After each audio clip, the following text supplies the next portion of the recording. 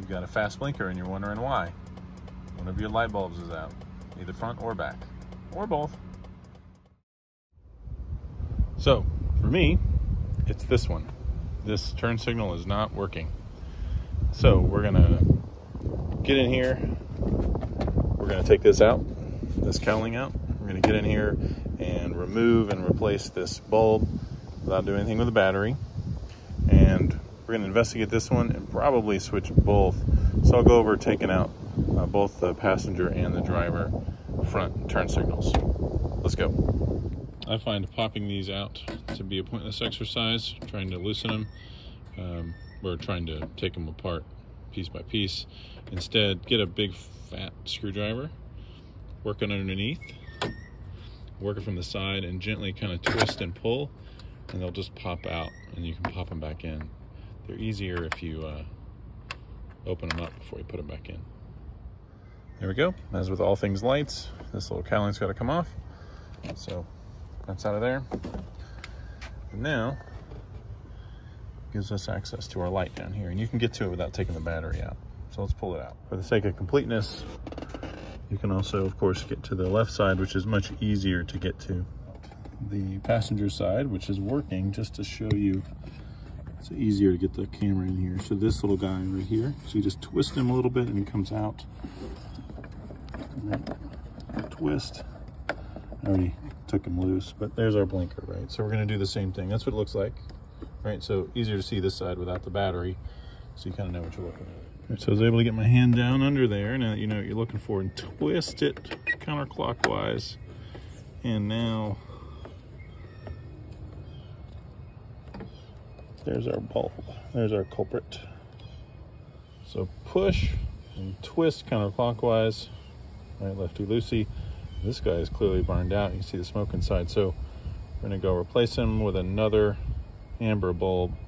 I'm gonna grab two so they match and I'll just replace them both while I'm here. Not a bad practice if you're already at it. They come in packs of two generally anyways. And if one burned out, the other one's probably not far behind.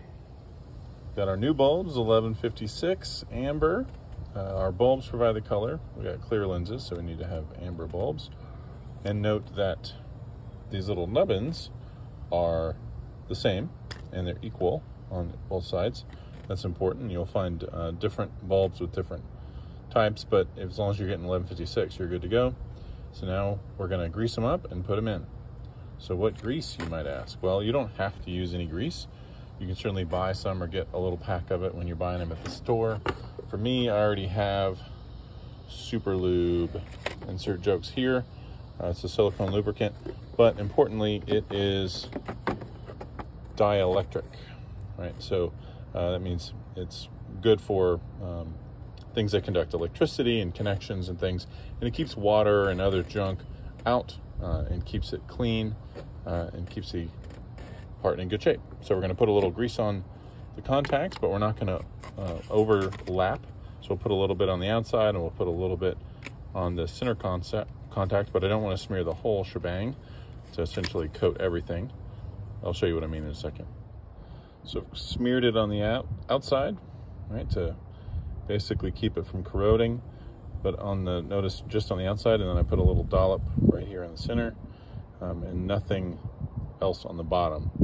So I've got essentially where the contacts is gonna be made, I've got it coated.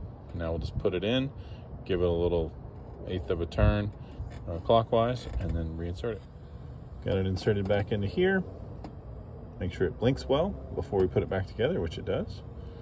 Now we can just reinsert it, twist that main part on as well. There we go, reinserted. Uh, notice that uh, you've got about a quarter turn clockwise to lock it back in.